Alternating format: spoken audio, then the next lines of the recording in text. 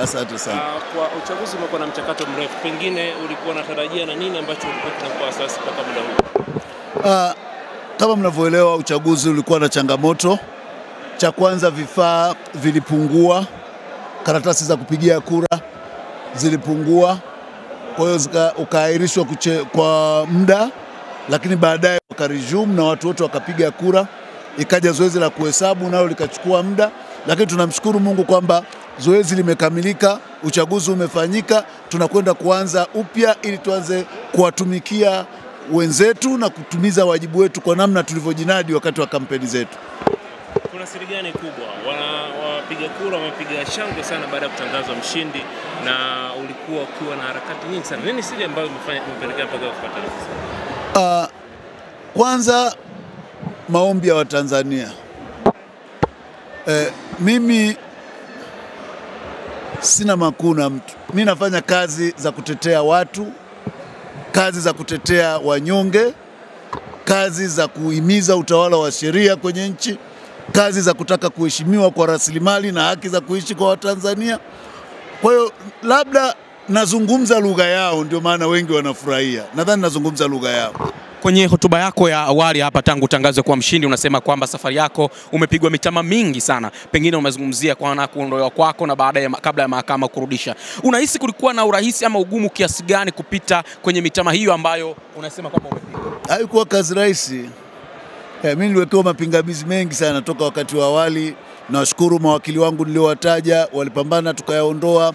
Nikaja ngazi ya rufaa, wote mnavyoona eh, nikaondolewa kinyume cha sheria, bila kuzingatia utu, bila kusikilizwa, bila mamlaka yote za kisheria, nikawa nimeondolewa kwenye ile nafasi na mwisho ikatokeza jinsi ilivyotokea.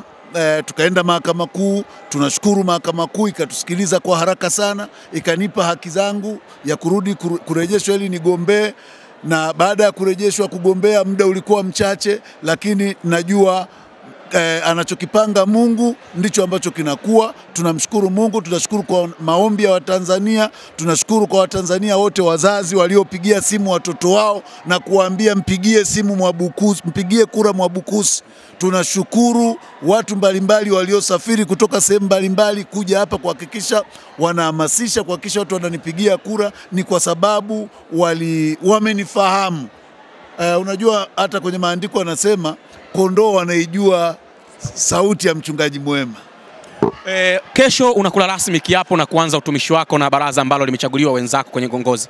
Kama kiongozi kinara kwenye TLS, yapi ambayo yatakuwa majukumu yako ya kwanza kabisa ofisini baada ya kula kiapo? Uh, sisi hatuna rais mtendaji, tuna GC ambao ni, tunafanya kazi kwa mashauriano, lakini mimi nilishasema jambo la kwanza ni section 4, yaani nakwenda kuirudisha TLS ifanye kazi yake ya kuwasemea Watanzania, ya kuishauri serikali, ya kulinda wanachama wake na ya kuhakikisha utawala wa sheria katika taifa letu. Hivyo ndio vipaumbele. Haya mengine tutayaangalia, lakini sio vipaumbele kwa sasa. Tunarudi kwanza kwenye msingi wa shughuli za TLS. Kwa sasa unawaambia nini Watanzania ambao pengine mpaka usiku wengi wamekuwa macho kufuatilia na wengine wengi kwa muda mrefu wamekuwa wakiulizia kulikoni Dodoma? Ninachowaahidi ni kwamba TLS inarudi kwenye misimamo yake, inarudi kwenye msingi wake, inarudi kwenye dira yake.